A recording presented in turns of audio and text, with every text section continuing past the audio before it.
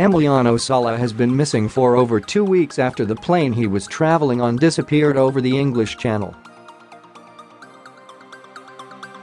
The 28-year-old had just completed a £15 million move from Nantes to Cardiff, with the Argentine becoming the Bluebirds' record signing. Sala had flown to France in order to say goodbye to his former teammates and was returning to Wales when contact with the private plane was lost near the Channel Islands on January 21. An extensive search was undertaken for the striker, pilot David Ibbotson and the Piper Malibu N264DB, although the official operation was called off on January 24.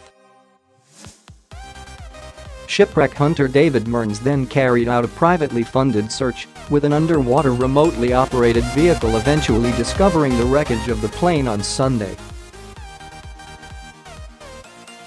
Video footage shows the remains of the plane on the seabed, while the UK Air Accidents Investigation Branch have confirmed a body has been seen in the wreckage.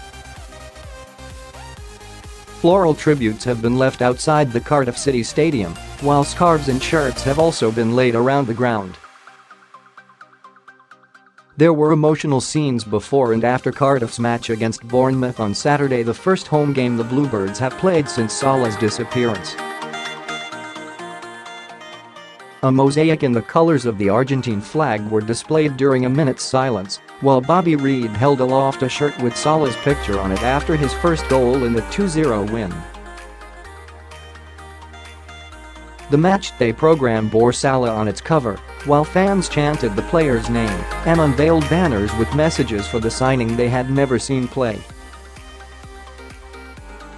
Sala's family are still searching for answers about his fate while players around Europe have been paying touching tribute with Wissam Ben Yedder and Abdoulaye Toure both revealing shirts with messages for the missing player.